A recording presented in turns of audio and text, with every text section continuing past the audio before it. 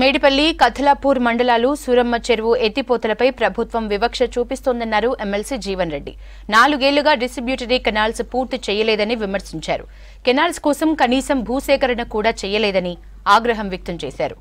వేమ్రవాడ Congress incharge ఆది శ్రీనివాస్తో కలిసి సూరమ్మ చెరువు రోళ్ళవాగు ప్రాజెక్టుల్ని పరిశీలించిన జీవన్ రెడ్డి సాగునీటి ప్రాజెక్టులపై ఎందుకు వివక్ష అని ప్రశ్నించారు.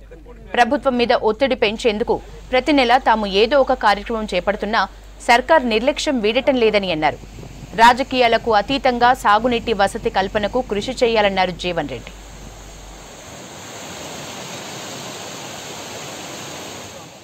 చెరువు ఏదైతే నిర్లక్ష్యం చేయబడుతుందో ఇలా ప్రభుత్వం మీద ఒత్తిడి పెంచడానికి ప్రతి నెల నెల ఒక కార్యక్రమం చేపడుతున్నాం చెప్పండి ప్రతి నెల నెల ఒక కార్యక్రమం చేపడుతున్నాం చెప్పంటున్నాం అయినా కానీ ఏదైతుందో ప్రభుత్వంలో చలనం లేదు ప్రభుత్వంలో చలనం లేదు చెప్పంటున్నాం ఇప్పుడు ఉన్న సూరమ్మ చెరువు ఏదైతే నీటి నిల్వ సామర్థ్యం వీళ్ళ గతంలో పాయింట్ వన్ టీఎంసీ ఏదో ఉండేది point one or point two TMC ఉండే.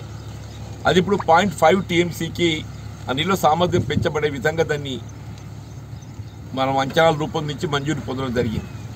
అంటే దాదాపు పది కోట్ల రూపాయలు వెచ్చించినట్టయితే ఈ పది కోట్ల రూపాయలతో ఏదైతుందో ఈ సూరమ్మ చెరువు ప్రాజెక్ట్ బలోపేతం చేసుకొని ఇందులో పాయింట్ ఫైవ్ టీఎంసీని మన నీటి నిల్వ చేసుకునే అవకాశం ఉంటుంది.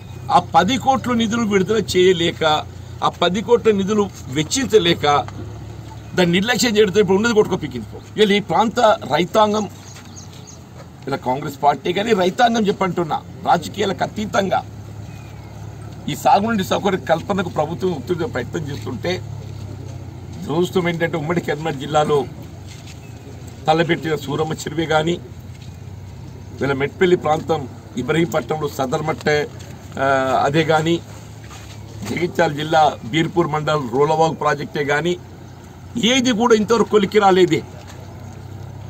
సదర్మట్ బ్యారేజ్ నిర్మాణం అనేది పూర్తయినట్టయితే ఇలా ఆదిలాబాద్ కరీంనగర్ అంటే ప్రస్తుత నిర్మల్ జిల్లా జగిత్యాల జిల్లా రెండు జిల్లాల వారధిగా ఉంటూ ఆ ప్రాంతానికి సాగునీటి సౌకర్యం కల్పిస్తూ మన భూగర్భ జల మట్టం పెంపు కూడా తోడ్పడుతుంది.